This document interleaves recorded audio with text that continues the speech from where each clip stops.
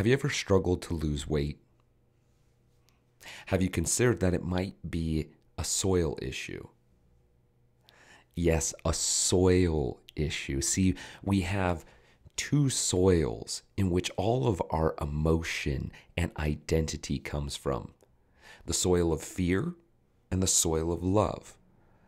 And we get the opportunity to choose where we're planting our words each day and how we are watering them.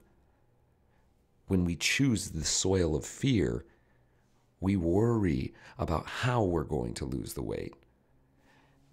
When we plant our words in the soil of love, we know that we will lose the weight.